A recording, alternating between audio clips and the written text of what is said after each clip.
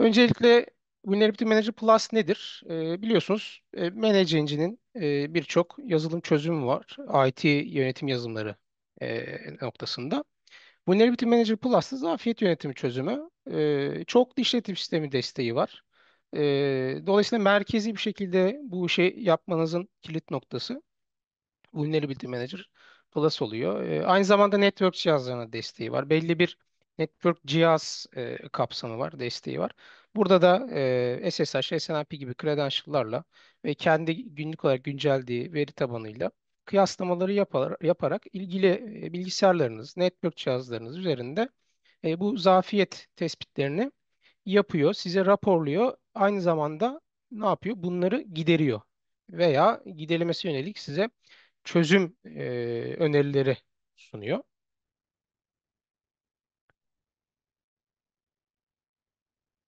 Evet, sesim herhalde net olarak geliyor. Herhangi bir bildirim de olmamış. E, görmüş olduğunuz gibi Windows, e, Linux, Mac işletim sistemlerine desteğimiz bulunuyor. E, fakat burada önemli bir nokta bazen karıştırılabiliyor. E, Mac OS'larda yani Mac işletim sistemlerinde sadece yama yönetimi destekleniyor. E, biliyorsunuz e, öncelikle Management'in ürettiği yazılım zaten yama yönetimi yazılımıydı. E, zafiyet yönetimi bunun üzerinde gelişmiş olan yazılım oldu. E, zaten dünya çapında da artık e, belli regülasyonlarla, belli standartlarla takip edilen bir konu. Dolayısıyla patch yönetimiyle de entegre hale geldi. E, o yüzden bu noktada hani bu iki farkı anlamak lazım. Yani patch yönetimi aslında ayrı bir konsepttir, zafiyet yönetimi ayrı bir konsepttir. Fakat günümüzde her ikisinin birden yapılması artık e, güncel olan konsepttir. Yani bu yönde gidilmesi gerekiyor. Tek bir merkezi araç üzerinden. Neden? Çünkü hayatımızı bu yönde kolaylaştırıyor. Bazı noktada verimlilik kazandırıyor bize. E, o yüzden bu detay önemli. Sadece patch yönetimi desteğimiz bulunuyor Mac tarafında. Fakat bu da önemli bir konu çünkü bütün o Mac işletim sistemlerinin birbirinden farklı build'lere sahip o işletim sistemlerinin e, versiyonların e, tek bir noktadan yine yamaların yapılması da oldukça e, sıkılaştırmaya destek veren konulardan. Yine Linux distrolarında e, yine burada distro bazlı ufak tefek değişiklikler var ama genel olarak zafiyet ve yama yönetimi yapılmakta. Windows ekosistemine de e, belli yine OS versiyonları üzerinde ve server ve client olmak üzere zafiyet taramasını e, Vulnerability Manager Plus yapıyor. Bunu nasıl yapıyor? Ajan üzerinden yapıyor. Ve bu yaptığı tabii ki e, klasmanda ne demiştik? Common Vulnerability Exposure yani e, C, e, CV diyebiliriz, CV diyebiliriz. E, nasıl söylemek istiyorsanız. E, CV üzerinden de ID'lerin tespit edilmesi artık hangi makinede hangi CV'ye ID ko- kodlu bir zafiyet var. Bu hangi peşle kapatılabilir? Uçtan uca bu noktayı bize verebiliyor. E, tabii burada biraz CV'nin e, mantığını, buradaki okuma metotlarını, işte e, buradaki açıklamaların örneğin zafiyet tipi, işte ürün, versiyonu, o yazılımın bir versiyonu olabilir, işletim sistemi versiyonu olabilir, impact'inin ne olduğu, atağın ne olduğu gibi detayları da biraz bir ön araştırmayla bakılması e, zafiyet yönetimi aracını yani Manage Engine'in Vulnerability Manager Plus yazılımı kullanırken e, avantajlar sağlayacaktır.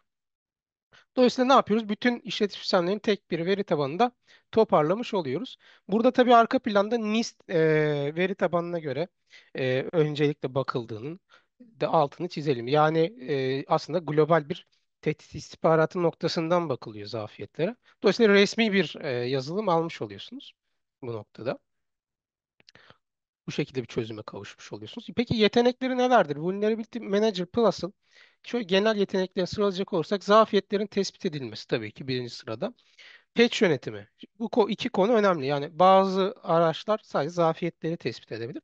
Ama Vulnerability Manager Plus hem zafiyet hem patch tespiti yapıyor ve aynı zamanda bu patchleri uygulayabiliyorsunuz. Yani kurumsal seviyede bir patch yönetim hizmeti de geliyor bu burada. Ee, yani bu piyasada nasıl yap- yapıyorsanız şu an hangi araçlarla yapıyorsanız aynı resmiyet seviyesinde, aynı kurumsallık seviyesinde hatta daha kolay bir şekilde, daha etkin bir şekilde yama yönetimini gerçekleştirmiş oluyorsunuz. Zaten yama yönetiminde biliyorsunuz işte test approve mantığı vardır. Otomatik patch taskları oluşturup bunu işte senkronize periyodik şekilde uygulamak vardır. E, bunların da hepsi yine zafiyet yönetiminde geliyor. Belki Patch Manager kullanan e, kullanıcılarımız olmuştur daha önceden. Manage Engine'in yama yönetimi e, çözümü olan. E, tamamen aynı yani. O, o ürünle direkt aynı e, bu, e, ürün burada modül olarak yer alıyor. Güvenlik konfigürasyonu yönetimi dediğimiz aslında zafiyet yönetim aracının içerisinde bunlar security misconfiguration kavramıyla geçer. Yani eksik güvenlik konfigürasyonları. Bunlarla ilgili güvenlik konfigürasyon yönetimi dediğimiz şey bu.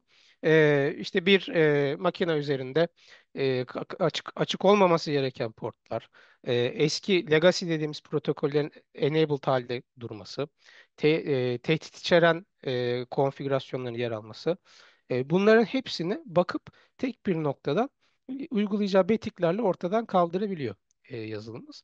Yine Center Internet Security ya CIS uyumluluk denetimleri ile ilgili benchmark rule setleri geliyor yazılım içerisinde. Siz oluşturduğunuz makine gruplarına bu benchmarkları uygulatabiliyorsunuz ve bu benchmarkları uygulandıktan sonra bir rapor oluşuyor. Bu raporda da direkt olarak e, size işte ilgili makinede e, CIS regülasyonuna uymayan e, hangi rule'dan fail olmuşsa o bileşeni size rapor olarak sunuyor ve o noktayı sıkılaştırmaya götürüyor aslında. CIS uyumluluk denetimleri bu yönde e, yine bir avantaj sağlıyor. Yüksek riskli yazılım dediğimiz konular var. İşte end of life olmuş, end of support olmuş yazılımlar. Bunların makinelerinizde, sunucularınızda tespit edilmesiyle birlikte yine e, Vulnerability Manager Plus'ın ya- veya kısaca VMP dediğimiz VMP'nin arayüzünde bunları görebiliyorsunuz. High Risk Software e, menüsü altında direkt gruplanıyor. E, web serverlara la- entegrasyonu var. Yani ajanı kurduğunuz zaman bir örneğin işte bir server üzerine kurduğunuz onun üzerinde bir Apache web server var. IIS web server olabilir. E, bunlarla ilgili direkt taramaları çalıştırır ve oradaki eksik konfigürasyonları tespit ederek size buradaki solution önerilerini yapar.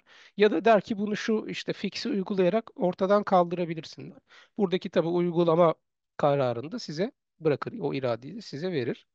E, Port denetimi dediğimiz konu Biliyorsunuz makineler üzerinde biz zaten hani işte CMD'den veya be- belli komutları çalıştırarak PowerShell'den vesaire çalışan portları çok kolay bir şekilde listeleyebiliriz. Farklı tool'lar da kullanabilirsiniz bunun için. Yine e, bizim ajanımız kurulu olduğu işletim sistemi üzerindeki bu çalışan portlarında yani gerçekten aktif olan bir proses tarafından sürülen bu portları, yaratılmış bu portların da e, raporlamasını yapar. Dolayısıyla ortamda hangi portlar aktive, bu portu hangi proses protokol kullanıyor gibi raporlara gidebilirsiniz. Bu da zaten zafiyet noktasında oluşan önemli bir e, konudur. E, ilgilenenler zaten yakından takip etmektedir bu tip konulara. Ee, ağ cihazların taranması noktasından da biraz bahsetmiştim. Yani bir SSH credential, bir SNMP credential verdikten sonra tabii desteğimiz kapsamındaysa e, ilgili iOS versiyonunu o cihazı tespit ederiz veya işte belli config noktalarına bakarız.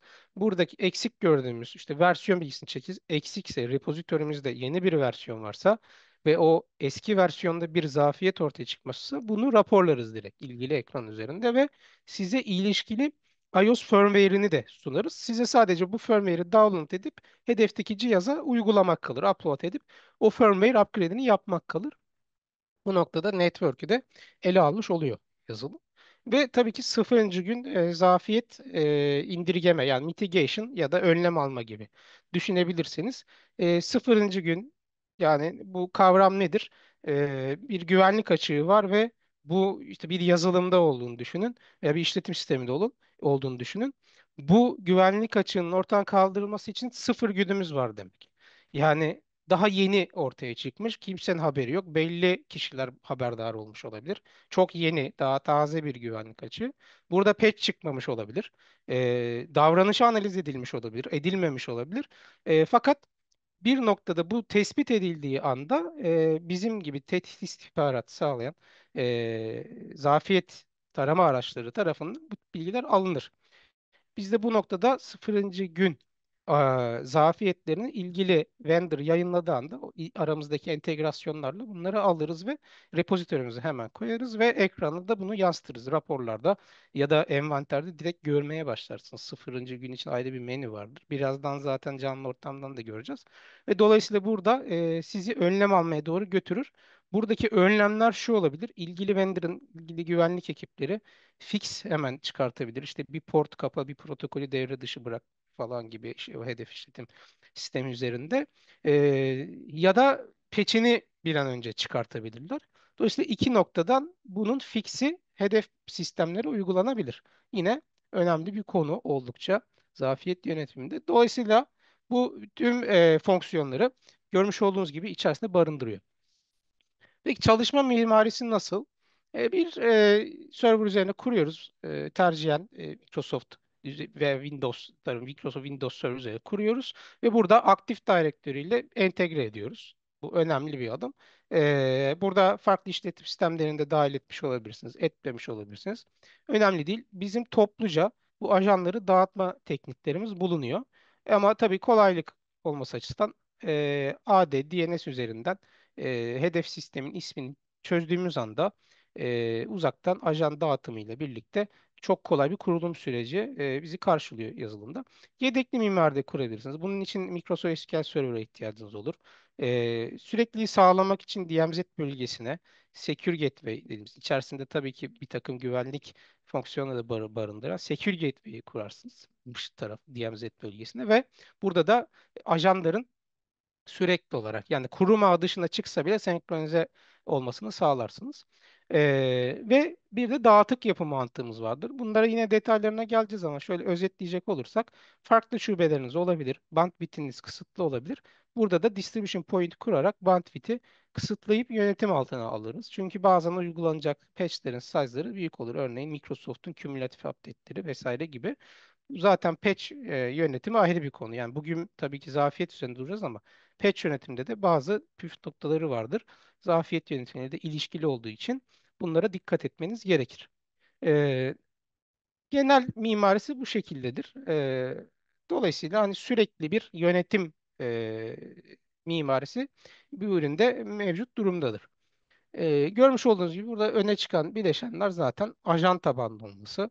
Ajan tabanlı olması sürekliliği sağlar. Son kullanıcı kaldıramaz. İlgili koruma yöntemleri vardır. Distribution point'i bandwidth e, gibi e, fonksiyonel karşılaması için bandwidth optimizasyon gibi fonksiyonel çözüm olması için kullanırız. Veya bir nevi belki izolasyon anlamında da kullanılabilir. E, web tabanlı bir yazılım. Tamamen Manage Engine'in zaten tüm e, çözümleri web tabanlıdır. Secure Gateway'den bahsetmiştik. E, kurum ağı dışında da bizim sürekli senkronize kalmamızı sağlıyor. Failover yapımız var ve Active Directory'de konuşabiliyoruz. Burada e, Active Directory'ye dahil olmayan makinelerde toplu ajan dağıtım yöntemlerimiz var.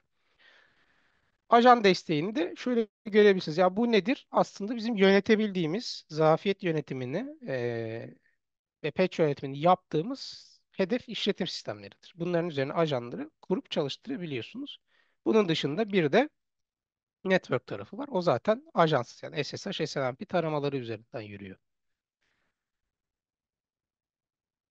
Ve network cihazları tarafında da burada hani örnek olması açısından görüyorsunuz. Tabii e, hani biz webinar sonunda da genelde sunumlarımızı paylaşıyoruz.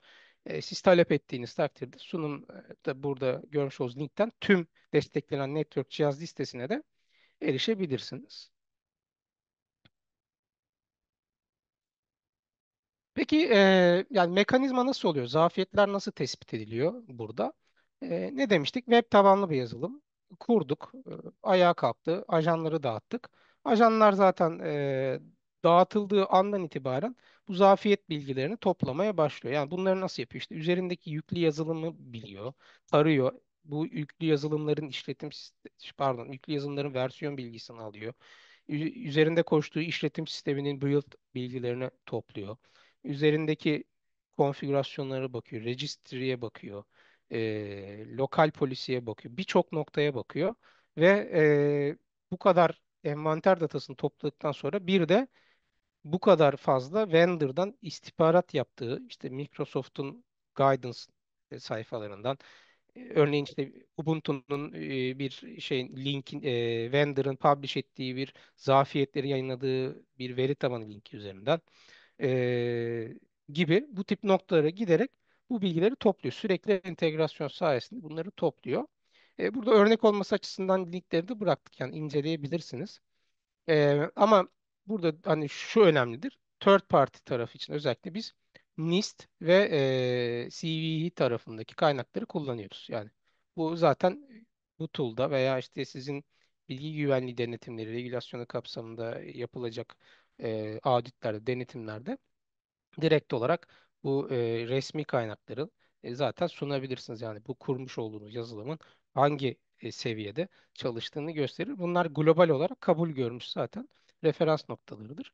E, Linux distrolardan bahsettik. E, Microsoft tarafından bahsettik. Dolayısıyla e, ilgili noktalardan bu tehdit istihbaratını yapıyor tool ve bu yaptığı e, istihbaratı ve kendi veri tabanında yani sizin zaten ajanlar üzerinden gelen bilgilerle kıyaslandığı için artık şurada görmüş olduğunuz veri sizin kurumunuzdaki zafiyetler oluyor. Yani ürün buna dönüştürüyor topladığı datayı. Burada da görebiliyorsunuz işte yazılım kaynaklı olanlar, işte işletim sistemi ve e, burada ağırlıklı işte Microsoft tarafındaki tehditler, e, kritik işte güvenlik e, yamalarının eksikliğinden dolayı kaynaklanan zafiyetler, e, işte Linux işletim sistemi seviyesindeki zafiyetler vesaire hepsi buraya giriyor.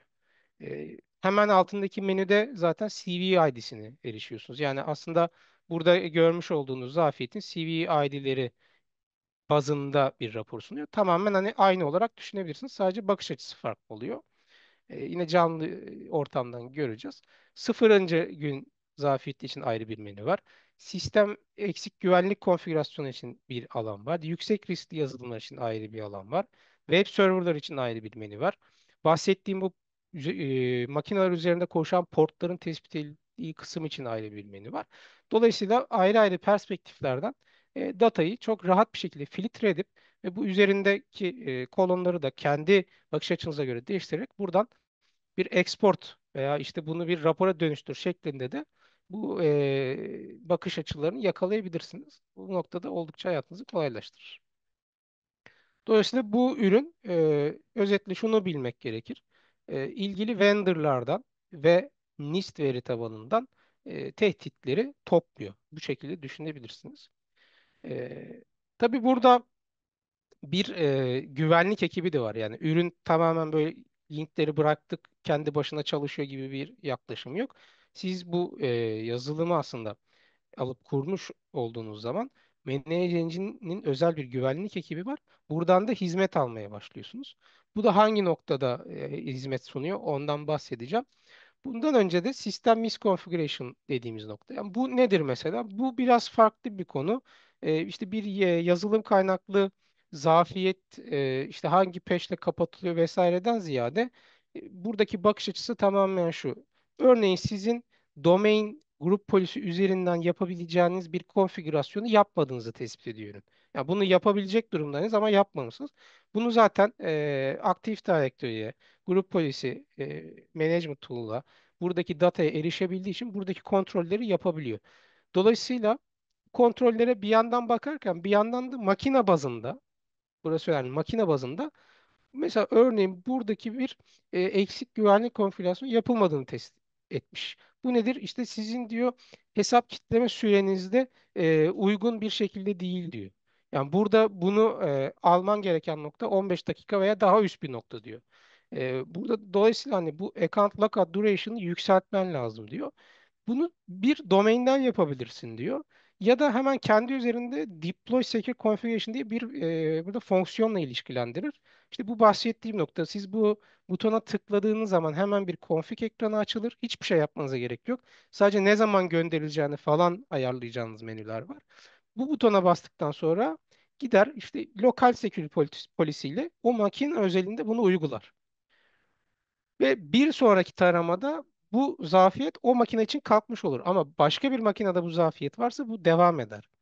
Dolayısıyla burada şöyle bir mantık gütmek lazım. Hani bunu tek tek de uygulayabilirsiniz ama ürün size burada farkındalık sağlıyor aslında. Yani bu account lockout duration'la ilgili bu konfigürasyonu siz diyor domainden zaten yaptığınızda tüm makinelere yapacağınız için Windows özelinde e, direkt bu zafiyeti tüm makinelerden ortadan kaldıracaksınız. Dolayısıyla bir sonraki taramada bu zaten bir daha karşınıza gelmeyecektir hiçbir makine için. Ve bu zafiyet sayısı zaten ne kadar azsa ortamımızdaki zafiyet yönetimi o kadar etkin yapılıyor diye düşünebilirsiniz. Şöyle durumlar da olabilir. Yani configure domain GPO yes de olabilir. E, grup polisi objesi vardır, deploy edilmemiştir. Bunu da o şekilde yakalayabilirsiniz. Dolayısıyla burayı biraz ne şekilde çalıştığını da anlamak gerekir. Burada nasıl anlayabilirsiniz? Hani yazılım zaten 30 gün boyunca e, free bir şekilde, tüm özellikleri açık bir şekilde kullanabiliyorsunuz trial modda. E, direkt e, download edebilirsiniz. Nasıl download edeceğinizi gösteririz. Zaten bizim demo POC ekiplerimizden e, yardım alarak da e, takvim isteyerek, toplantı isteyerek de ortamımızı kurulup ortamımızda inceleme şansına kavuşabilirsiniz. Burada security misconfiguration'lar nereden e, alınıyor. Yani hangi entegrasyona geliyor diye soracak olursanız NIST ve STIK dediğimiz e, bunlar da yine kurumlar yani e, devletler nezdinde e, oluşturmuş kurumlar E, ve global hani dünyada bunlar takip ediliyor. E, Security Technical Implementation Guide yani STIK dediğimiz bir aslında veri tabanı. Bunun üzerinde zaten bu misconfiguration'lar çalışılır. Yani bir istihbarat ekibi, güvenlik danışmanları ekibi burada bunlar üzerinde sürekli güncelleme yapar. Biz bunları senkronize ederek direkt bu sistem misconfigurations dediğimiz menüyü populate ederiz yazılım üzerinde. Dolayısıyla hani bunun da resmi bir şekilde olduğunu görebilirsiniz. Yani burada direkt Manage Engine sıfırdan oluşturduğu bir yapı yok. Kontrolden geçirdiği, üzerine koyduğu ama arka planda aslında bunun resmi bir veri tabanından alındığı bir yaklaşım var. O yüzden önemli bir nokta. Ee, burada yine Zero Day kısmında Bakın şurada Trace menüsünde zaten bizim yani bugün üzerinde duracağımız konu bu Trace menüsü. Trace menüsünde Zero Day Vulnerability kısmına geldiğimizde yazılımın arayüzünde, yönetim arayüzünde burada sıfırıncı gün zafiyetlerini görürsünüz. Burada işte bu bahsettiğim yapı yani bu zafiyetin CV ID'si e, bunu zaten okumayabiliyorsanız ne zaman e, yayınlandığı veya işte ne kadar rave'den geçtiği vesaire. Bunları CV Details sayfasından web üzerinden de yine kodlarını sorgulayarak görebilirsiniz. Burada görmüş olduğunuz gibi fixleri. Burada bu fix konusunda bir püf noktası var. Bunun üzerinde durmak gerekir. Bu aslında görmüş olduğunuz kısım önemli. Yani siz mesela yazılımı kontrol ettiğiniz zaman bu yazılım eğer yöneticisi olacaksanız e, günlük rutin kontrollerinizi yaparken bu menüyü öncelikle kontrol etmeniz lazım. Çünkü bu tehlikeli bir nokta. Ee, yani iki tür zaten hani ana zafiyet var. Birisi zaten e, yayınlanmış. Üreticisi belki 3 ay önce yayınlanmış. Bizim haberimiz yok. Hala patch'inin geçilerek ortadan kaldırılması bekleniyor. Bakın Zero Day daha yeni yani e, bazı şeyin farkına varılmamış ve sizin burada patch'ine geçme ihtimal zaten yok yani. Bu, bu tip ürünlerden istihbarat almadığınız sürece bunların farkına çok zor varırsınız. Özel kanalları takip etmiyorsunuz bu noktada e, web üzerinden. Dolayısıyla hani bu kısım önemli. Hemen burada eğer fix gördüğünüz anda bir inceleyip bunun e, sizin o hangi sisteminizde işte detect edilmiş, tespit edilmişse inceleyip eğer bir işte kurumsal web sitenizde bir kesinti yaratmayacaksa o işte hangi protokolü devre e, dışı bırakacak veya hangi portu bunların zaten detayları fix noktasında görülüyor, anlatılıyor. E, bunları inceledikten sonra fix etmek kalır size. E, dolayısıyla önemli. E, eğer zaten burada vendor, şu kısım önemli, vendor bu e, zero day için, zero day zafiyeti için hızlıca patch'i publish ettiyse yine bu fix altından o patch associate ediliyor ve uyguluyorsunuz. Henüz yayınlanmamışsa yine vendor burada e, mitigation yöntemleri uyguluyor. Yani o hızlı bakışı yapıyorlar. E, işte arka planda işte bir protokol e, devre dışı bırakma işlemi veya bir e, register değişik ya da bir port kapatma gibi betik tarzı yaklaşımlarla bunu e, fix ediyorlar. Dolayısıyla bu nokta önemli. Burayı takip etmek gerekiyor. E, burada da exploit hani var mı yok mu bu da önemli. Yani bir de önceliklendirme konusu var. Yine detaylandıracağız ama hani Zero Day'de de bu exploit'e bakmamız lazım. Yani önce exploit'in var var olduğu e, Zero Day'lere ne yapmamız lazım? Adım atmamız lazım. Bunları gündeme almamız lazım. Çünkü burada bir istismar durumu var. Yani önemli. E, dolayısıyla azaltma olarak ne yapabiliriz? Yani biz burada işte fixi zamanında göremeyebiliriz. Ee, veya işte vendor burada geç davranmış olabilir. E, geç davrandığı için buraya geç gelmiş olabilir ama belki ortamımızda bir şeyler olmaya başlamış olabilir. Bir de burada genel sıkılaştırma yöntemlerine gitmek lazım. Yani siz Zero Day'i azaltmak için genel olarak patch yönetimini bir kere güncel tutmanız lazım. Yani bu important, critical severity'deki örneğin işletim sistemi seviyesindeki patch'leri bir kere otomatik tasklarla uy- uygulamanız gerekir ortama. Yani genel missing patch sayımızın da eee, az olması gerekir. Çünkü bu arada zaten bağlantı var biliyorsunuz. Eee, antivirüs çözümleriniz oluyor tabii ki. Bunlardaki definition update'leri güncel tutmanız gerekir. Bunlardan emin olmanız lazım. Son kullanıcıların herhangi birinin bunu kapatamayacağından, AV ajanlarını kapatamayacağından emin olmanız lazım. Yüksek riskli yazılımları denetlememiz lazım. Bunun için ayrı bir menümüz olduğunu söylemiştik. Bunlar işte e, uzak bağlantı paylaşım araçları vesaire olabilir. E, bu noktalarda resmi veya işte e, lisanslı diyebileceğimiz kategorilerdeki yazılımları kullanmanız tavsiye edilir. Ve e, burada yine bahsettiğim gibi bunu her gün takip etmeniz size oldukça e, riskinizi azaltmada yardımcı olacaktır. Peki zafiyet patch ilişkisini biz nasıl sağlıyoruz? E, Zafiyet patch ilişkisini direkt ürün zaten size hizmet olarak sunuyor. İşte tam bu noktada Manage güvenlik ekipleri bunları araştırıyor, bu istihbaratı yapıyor. Özel bir ekip var bunun için. E, ve burada hangi zafiyetin, bakın hangi zafiyetin hangi yama ile ilişkili olduğunu ürün üzerindeki repository'de adresliyorlar. Bu günlük olarak güncellenip bütün VMP yazılımlarıyla paylaşılıyor. Ve biz bunu senkronize ediyoruz zaten ilgili repo linkleri üzerinden. Dolayısıyla size sadece bu patch'i uygulamak, zaten ilişkiyle burada zafiyetini görüyorsun. Patch uyguladıktan sonra bu zafiyet de envanterden kayboluyor. Dolayısıyla patch uygulayarak zafiyeti e, ortadan kaldırmış oluyorsunuz.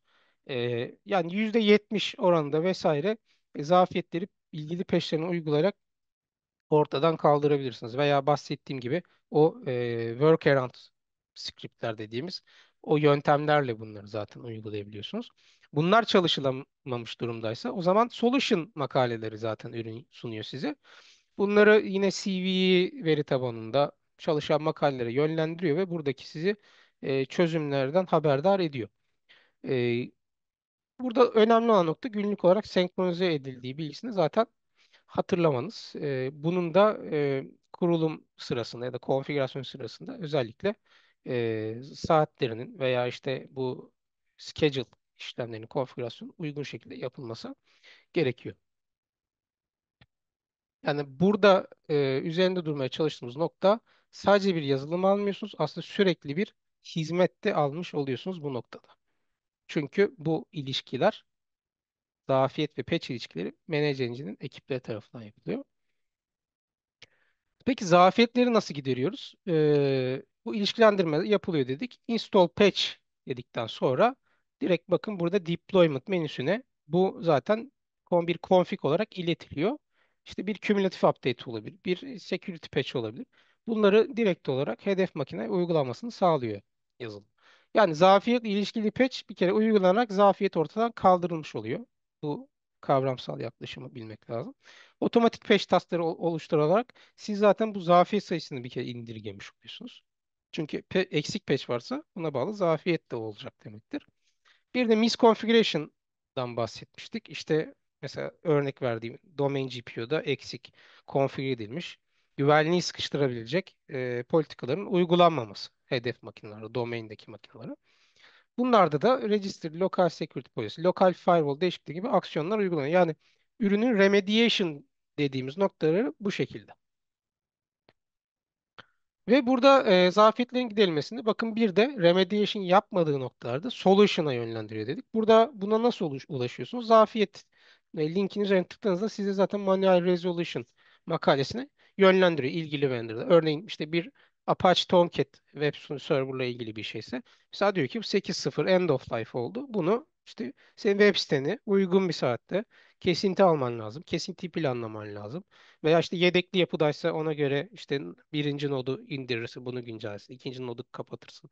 Sonra di- direkt işte 8.5'e geçersin vesaire gibi düşünebilirsiniz. Çünkü bu tip şeyler uygulanamaz. Yani siz aktif bir web uygulaması yayınlayan bir Apache web server'ı çat diye hadi ben üründen basayım, göndereyim bir anda geçsin demeniz biraz e, mantıklı olmuyor. Dolayısıyla burada kontrollü gidilebilmesi için biraz da manuel resolution tarafından yaklaşmak gerekiyor konuya.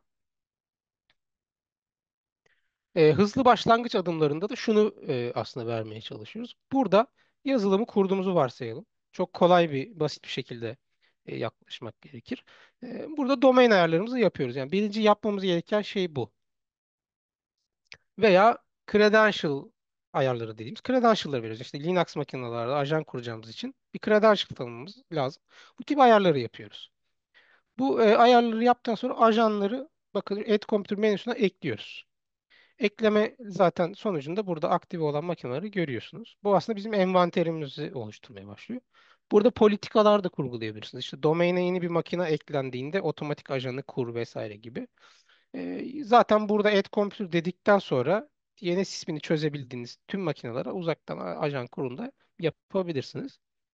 Ajanları kuruyoruz. Ajanları kurduktan sonra biz bir şey yapmamıza gerek yok. Direkt ajan eee, taramalarını yapıyor ve zafiyet verilerini toparlıyor. Görmüş olduğunuz gibi bu zafiyet verileri dediğimiz noktada threads'ten hemen software vulnerability alttan kontrol etmeye başlayabilirsiniz. İşte burada exploit var mı? Bu işte bunun patch'i var mı? Patch ile ilişkisi var mı? CVSS skoru nedir gibi veya filtreler de uygulayarak buradaki bakış açılarınızı zenginleştirebilirsiniz. Zafiyetleri listeledik. Zafiyetleri listeledikten sonra ilgili patch veya çözümleri uyguluyoruz. Yani burada tabii manuel görüyorsunuz. Yani ilgili patch. Birden fazla zafiyet seçtiğinizde, patch'ini yüklediğinizde birden fazla config de devreye alabilirsiniz. Bu ya- yazılım arka planda şeyi yapabilir. O ilgili gruplamaları yapabilir. Yani e, bir şeyleri değiştirmek durumunda değilsiniz. Burada zaten amacımız sizlere zaman kazandırmak. Zafiyet yönetimini yaparken o, o tip konular otomatik aşılıyor. Burada tek bir tane görüyorsunuz. Yani böyle bir zafiyet var. CVSS skoru belli. CV ID'si belli. Patch'ini yüklediğiniz zaman bakın ilgili patch repo'dan çıkartılıp buraya associate ediliyor. Hedef makineye gönderiliyor. Yani bu bir client olsa, kurum ağı dışında olsa ona da gönderilecek. Hatırlarsanız Secure Gateway yapısından bahsetmiştik.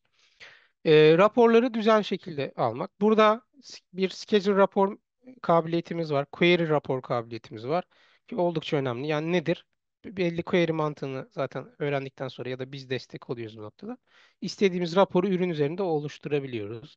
İşte ne olabilir burada mesela? Birazdan göreceğiz detaylarını. Örneğin e, ilgili e, bana şu sunucu grubundaki zafiyetleri listele diyebilirsiniz. Bu gibi raporlar alabilirsiniz. E, Bak burada görmüş olduğunuz gibi. Veya işte burada bana genel zafiyet bakış açısından veren makine bazlı işte üzerinde peer-to-peer yazılım var mı? Remote desktop sharing yazılımı çalışıyor mu vesaire gibi. Mesela bu, bu tarz önemli raporları da oluşturabilirsiniz. Veya ne demiştik? Makine makina. Burada ben hangi zafiyet var? İşte bu zafiyetin detayı nedir? Makinenin işletim sistemi nedir? Hangi patch ID'siyle bu giderilebiliyor?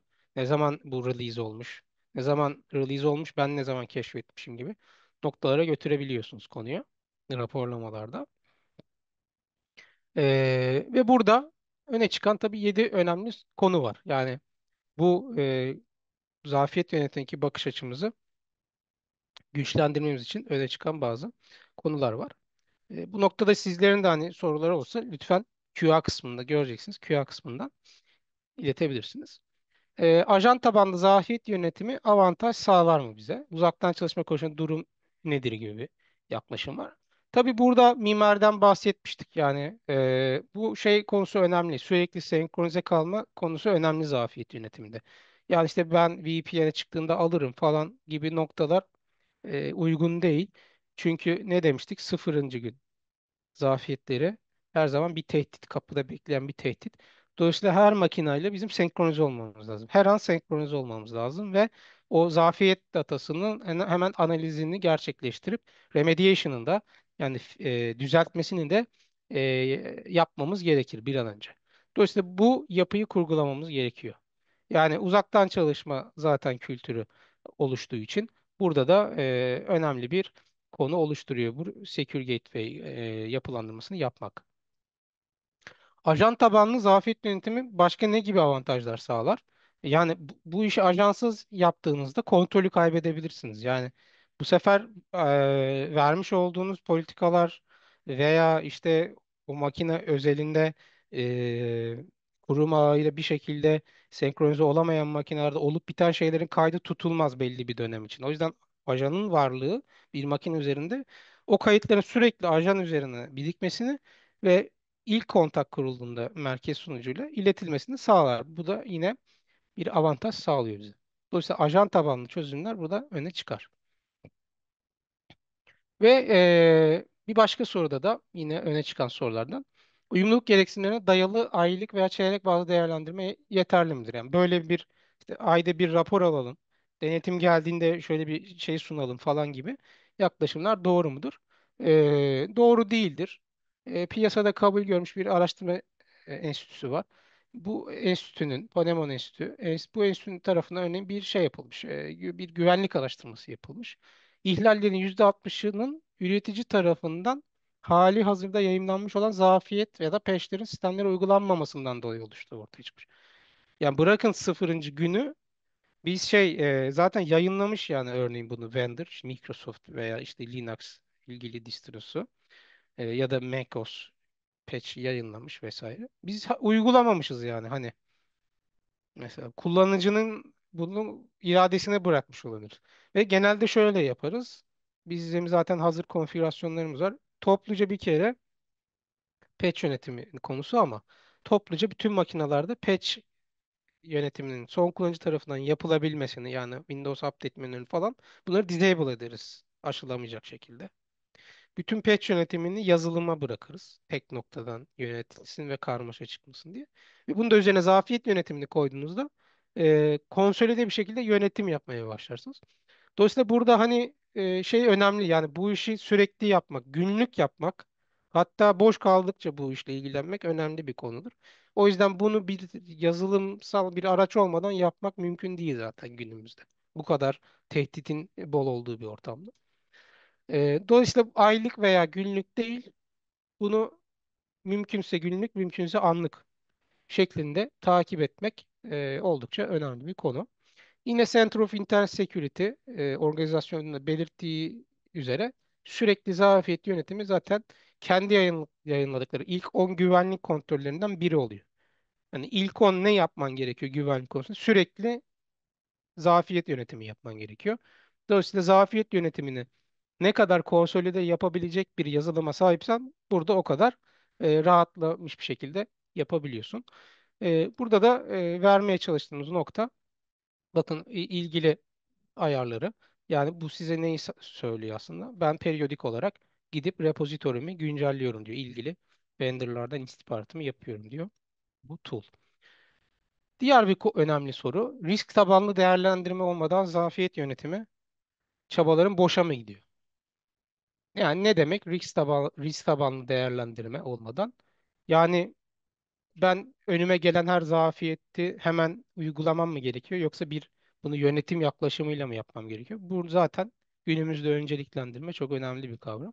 Mesela aynı bakış açısını burada zafiyet yönetimine de uygulamak gerekiyor. Örneğin bir ör- yani bir örnek üzerinden gidelim. Bin adet zafiyet tespit edilmiş bir ortamdayız. E, İşte 100 makineden bu data oluşmuş. Burada da 100 yüksek riskli zafiyet ele almamız gerekiyor. Yani bunu nasıl yapacağız? Ya burada bizim işte bu tarz bir yazılım aracına ihtiyacımız var. Niye? Üzerinde filtre, istatistik veya rapor tarzı yaklaşım mümkün olduğu için burada filtre uygulayabilirsiniz vesaire. İşte bana mesela CVSS skoru en yüksek olanlara getir diyebilirsiniz. Kritikleri getir diyebilirsiniz. Burada filtreler uygularsınız. Filtrelere göre mesela karşınıza 20 tane zafiyet gelir. Tık tık tık seçip uyguladığınız zaman siz kritikleri bir kere bir kontrol altına alıyorsunuz. Zaten bazıları kritiklerin arkasında 4 GB size'lı kümülatif update bekliyor. Yani bunu zaten önce buradan başlamamız lazım. Yoksa işte low e, olan seviyede bir zafiyetin arkasındaki 2 GB'lığı siz ortama uygulamaya başlarsınız. Bu sefer orada bir patinaja doğru konuyu götüreceksiniz. O yüzden bu önceliklendirme konusu önemli. Yani zafiyet yönetimine bir kere önceliklendirerek yaklaşmamız lazım. Önce en yüksek e, e, en yüksek seviyede skora sahip riskli zafiyetten başlamak lazım giderimine. Ee, bu şekilde yapılmadığında ne olur? Gereksiz zaman kaybı olur, efor kaybı olur. Ve burada bir de şuna dikkat etmemiz lazım. İşte bu patch size'ların yüksek olması, bandwidth yönetimi, burada potansiyel etki, exploit ve CVSS score yani bu dört kaleme bakmamız lazım. Bandwidth yönetimine nasıl bakacağız? e, distribution pointlerimiz olması gerekiyor. Lokasyon bazlı yapılarımız varsa bizim distribution pointler üzerinden bu patch dağıtımlarını yapmamız gerekir. E, bazen sunucunun çıkış bandwidth'ini li- limitleyerek çözümler oluşturulabilir. E, yani hangi network nodundan geçiyorsa zafiyet yönetim bileşenleri neyin arkasındaysa o ağ yapısına dikkat ederek bu dağıtımları yapmak önemli. Potansiyel etki dediğimiz yani bunu kaç makine uyguluyoruz? Ya da işte bu ne kadar kritik bir güvenlik açığı, server'da mı, client'ta mı bunların analizini yapmak lazım. Ona göre uygulamak lazım. Giderim remediation politikalarını. Ee, exploit, önce exploit olandan başlamak lazım. Yani istismara uğramış, ihlale uğramış noktalardan başlamak lazım.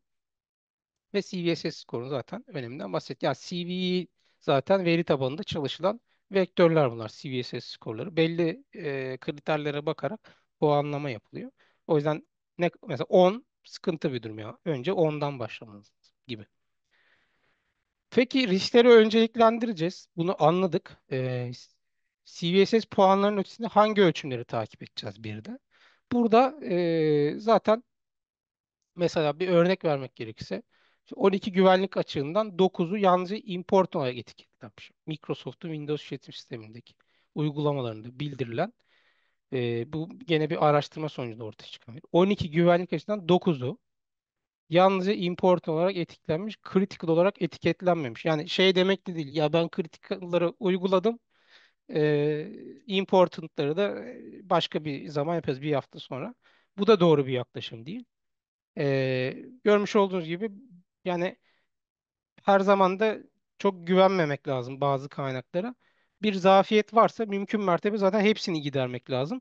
Yani şunu demeye çalışmıyoruz. Yani kritikleri yapalım kafamıza. Hayır, bu değil. Hepsini mümkünse yapalım ama kritikten başlayarak gide yani böyle bir e, önceliklendirme metoduyla bunu yapalım. E, neye dikkat edeceğiz? Zafiyetin ne kadar eski olduğuna, istismar var mı? Bu- buna bakacağız. Yani bir breach oluşmuş mu bu noktada? Ee, exploration activity yani yoğunluk ne? İstihbarat sitelerinden bu bilgiyi alabilirsiniz. Ne kadar e, gündemde olan bir exploit bu? E, kaç makine ortamda etkilendi? E, bu etkilenen makinelerin kritiklik seviyesine ve bunların patch'i var mı? Yani bunlara göz önüne alarak o önceliklendirmeyi sağlıklı bir şekilde yapabilirsiniz.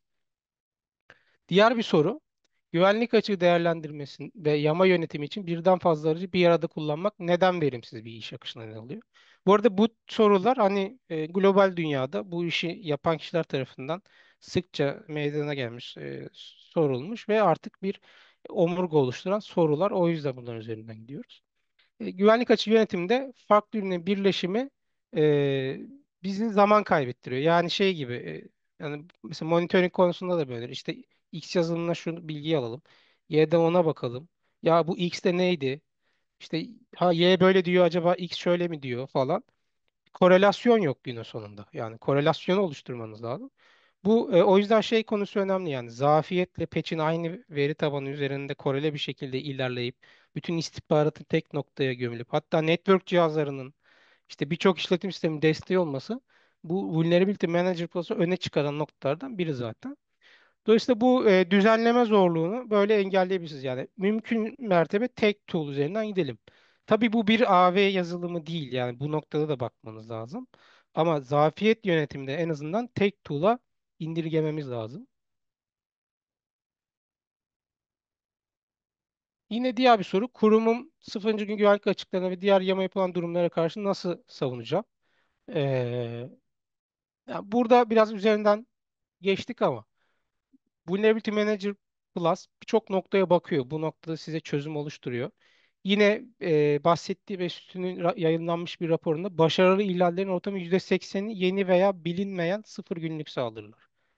Başarılı ihlal yani tabii bu e, kötü niyetli kişi tarafından ortaya çıkan bir konu. Başarılı bir şey ihlal yapmış. Bunların ortalama %80'i dünya çapında yeni veya bilinmeyen sıfır gün saldırıları. Yani zero day vulnerability dediğimiz konuya giriyor. İşte o zero day'in üzerinde durmamın sebeplerinden biri de bu.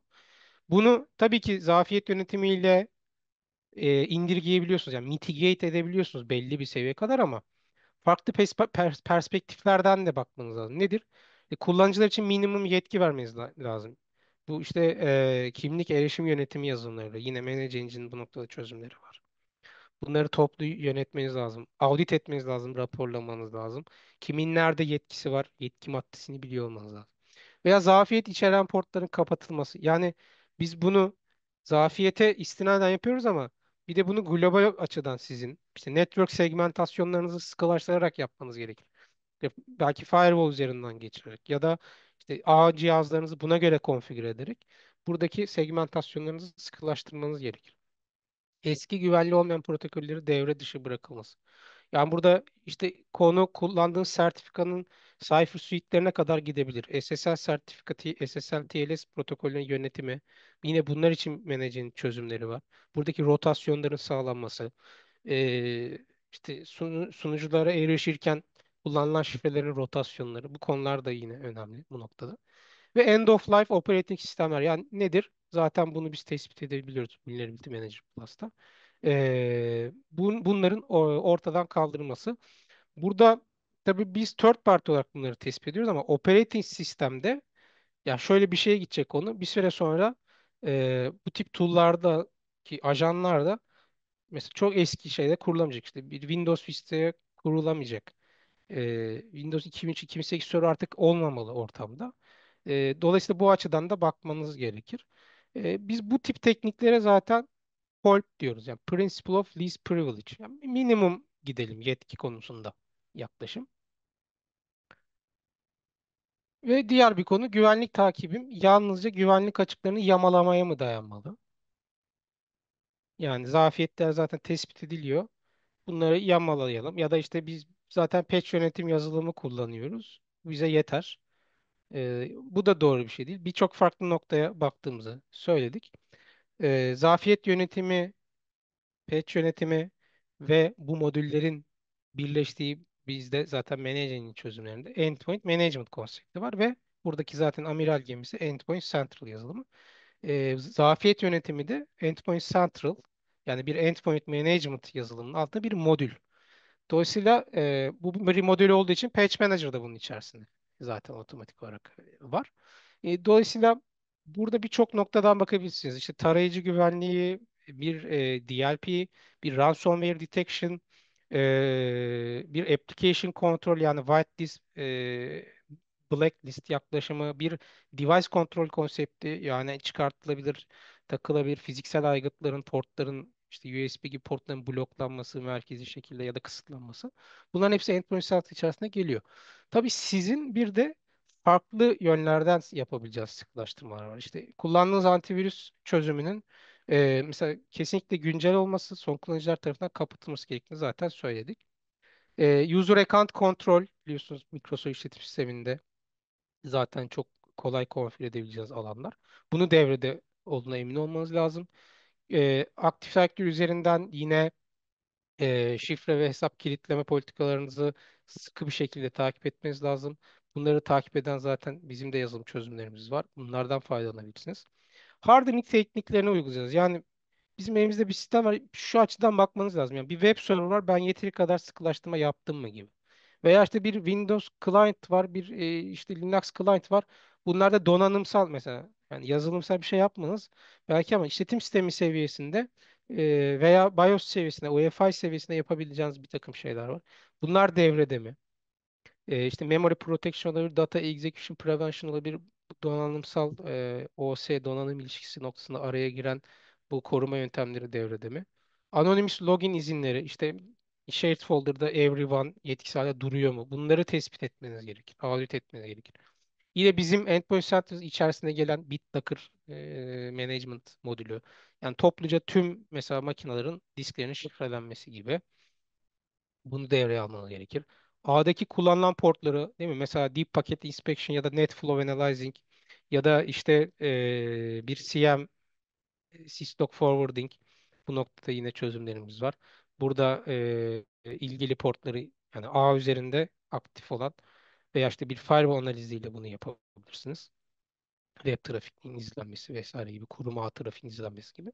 Uzak masaüstü paylaşım yazılımlarında kontrol altına almalısınız. Yani hadi erişim verelim. E, tamam. Biliyor muyuz o işte encrypted mı o? Remote Desktop Sharing yazılım encrypted bir bağlantı mı sunuyor? Bunlara dikkat etmek lazım. Burada da o yüzden lisanslı, bunu konfigüre edebildiğimiz, mümkünse web tabanlı çözümlere gitmek daha doğru olur.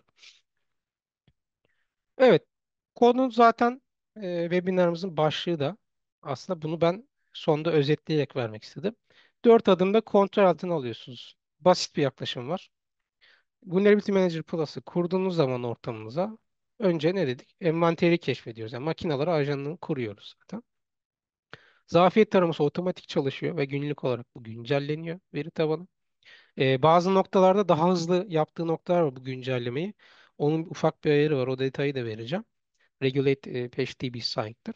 Bu critical seviyede çıkan e, zafiyetler için belli bir periyodu beklemeden hemen ürüne bunun yansıtılmasını kapsar. E, vulnerability assessment dediğimiz konu. İşte bu e, bahsettiğim gibi işte vulnerability'nin age, exploit kodu, CVSS skoru vesaire bu assessment yani değerlendirilmesi checklist veya filtre yöntemleriyle ve bu zafiyetlerin giderilmesi. Yani dört adımda biz bu işi böyle yönetiyoruz. E, bu şekilde oldukça e, kolay ve etkin bir şekilde yönetmiş oluyoruz. Şimdi burada tabii şöyle ortam üzerinden de biraz e, gitmek gerekirse hemen şöyle yansıtmak isterim.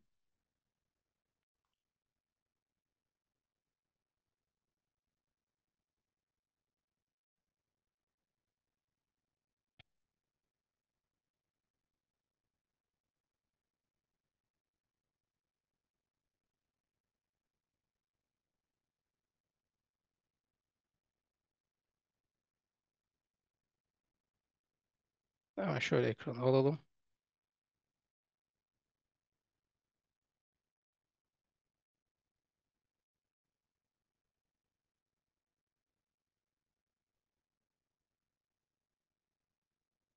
Bakın bu arada e, şunu da hemen göstereyim. Ve demo Vulnerability Manager Plus.com linki üzerinden sizler de hemen şu anda erişip yazılımı inceleyebilirsiniz. Ben e, chat kısmından size bunun linkini bırakıyorum. Öncelikle bunu göndermiş olalım. Şu şekilde giriş yapabilirsiniz. Hemen o kısmından da bahsedeyim hızlıca.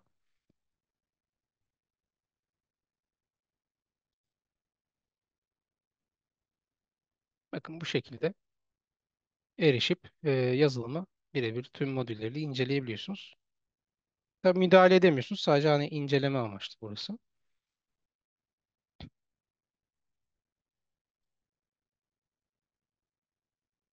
Burada örneğin ne demiştik? Network cihazlarında işte SSH, SNMP credential'larla takip yapabildiğimizi söylemiştik. E, burada cihazları ekliyoruz. Credential'larımızla map ettikten sonra zaten tarama sonucunda bize zafiyet olan cihazları burada listeliyor. İlgili cihazımızın üstüne gittiğimizde direkt olarak burada zafiyetlerini görüyoruz. Yani bu zafiyete işte gitme konusu böyle oluyor. Exploit yok, patch'i var, CVSS skoru yüksek.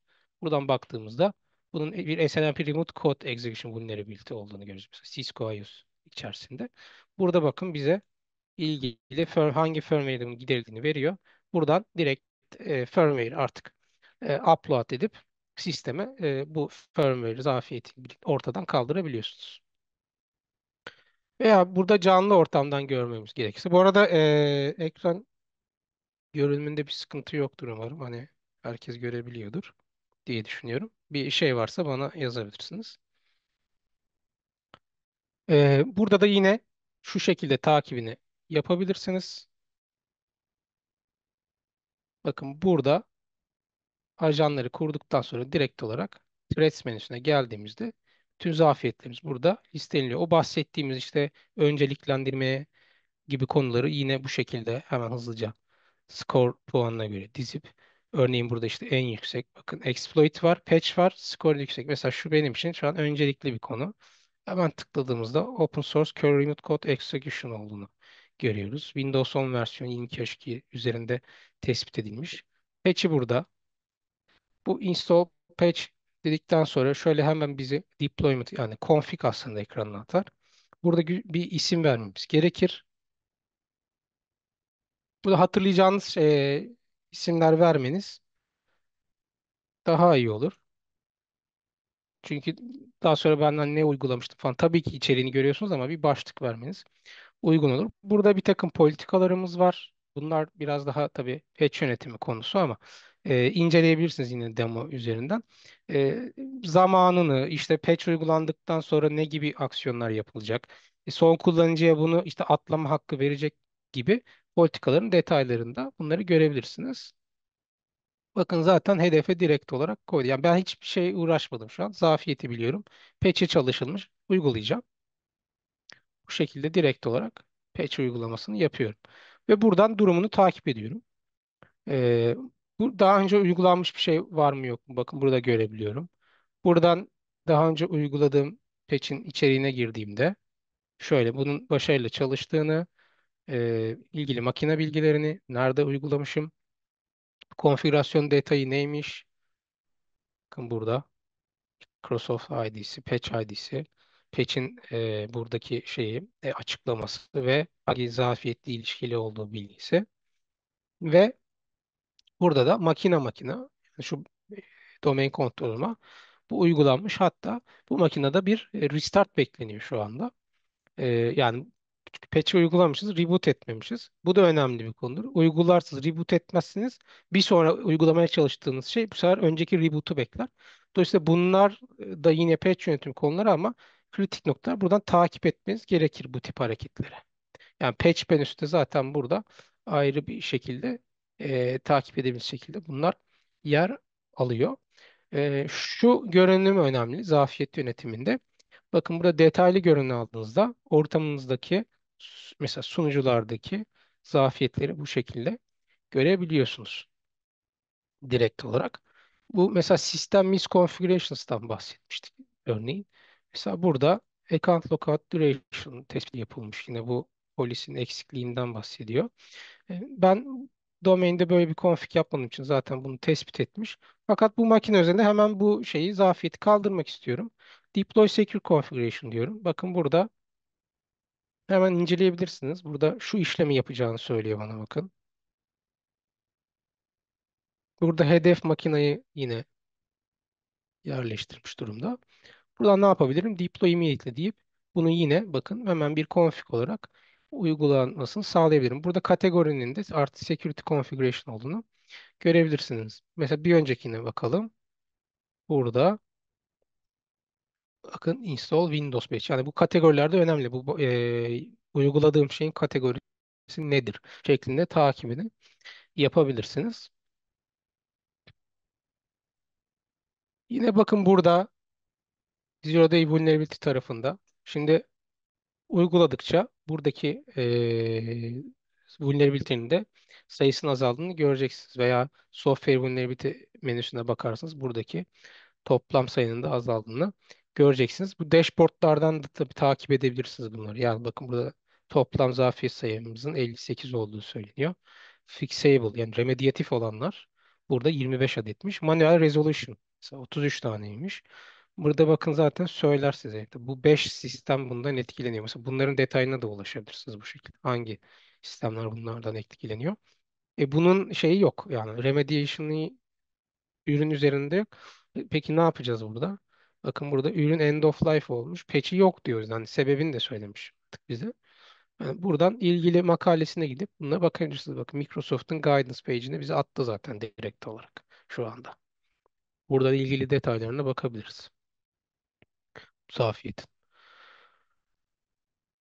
Yani genel mantalite bu şekilde. Biz high risk software dediğimizde mesela remote desktop sharing yazılmıştı. Mesela tespit etmiş. Hemen bunu kaldırmamız gerekir, değil mi? Gibi.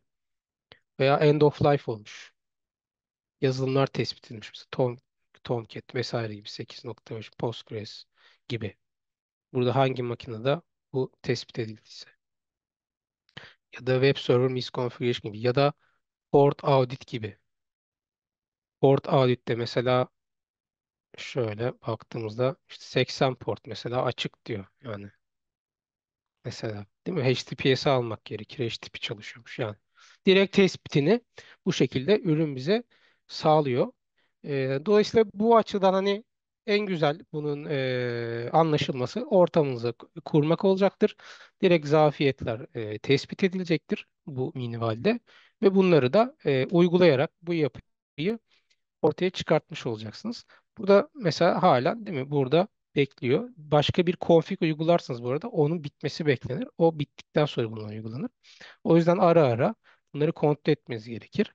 Default konfigürasyonların e, senkronize olma ar- aralığı da 90 dakikadır. Bu bilginin de hani bir elinizin altında olması önemli bir konu. E, bir de şu önemli bir konu daha göstereyim. Burada mesela bazı patch'leri de tabii uygularken dikkat, e, dikkat etmeniz gerekiyor. Bunları decline patch menüsünden decline edebilirsiniz. Yani burada manuel bir takım operasyonlar yapmak üzere düşünebilirsiniz. Hani şu da önemli bir konu. Mesela bir patch yayınlandıktan işte ortalama kaç gün sonra uygulamalıyız falan. Yani hemen uygulama yapmamalısınız bazı peşleri. Çünkü örneğin sizin ortamınızda değerlendirmeniz bir durum varsa işte bir kritik bir yazılım var. Bütün operasyon ortasında duruyor.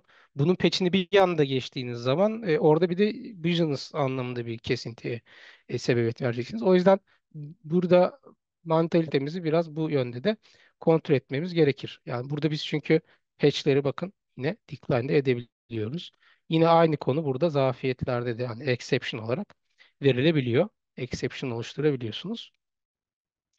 Önemli olan konu bu. Yani burada zafiyetlerimizin genel sayısının düşük olması ve şuradaki kritiklik matrisinde de az sayıda bir zafiyetimizin olmasını her zaman hedefliyoruz.